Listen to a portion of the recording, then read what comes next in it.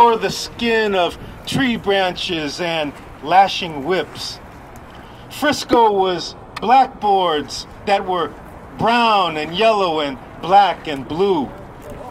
Frisco was ancient pots with built on grease, built on year after year, generation after generation. Frisco was squeaky Victorian bones soaked in thick soy sauce fog. Frisco was your father's foot in your ass. Frisco was nightsticks and the sign of the cross. Frisco was poets with calloused tongues talking that Frisco shit. Frisco is ears filled with wax voices of don't call it Frisco dumb shit. I'm talking about that hella Frisco shit. Sup, blood? That's what's up. Frisco was dad's janitorial job that kept food on the table and toilet paper in the bathroom. You know what I'm saying?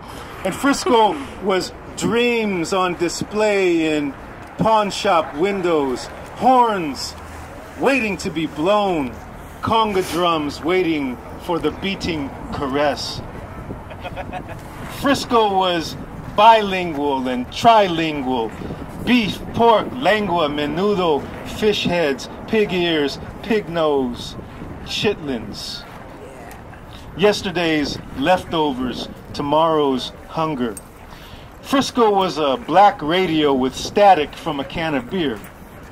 Frisco is Abuelita balancing the world on her head. Frisco is straight F's, standing for Frisco, Frisco, Frisco. Frisco is an evicted poem with everything to show for it.